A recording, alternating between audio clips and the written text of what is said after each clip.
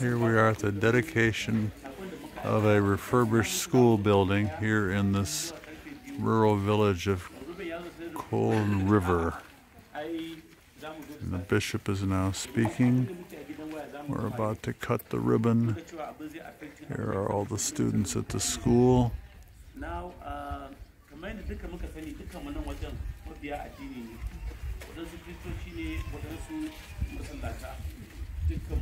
Muke bauta ma.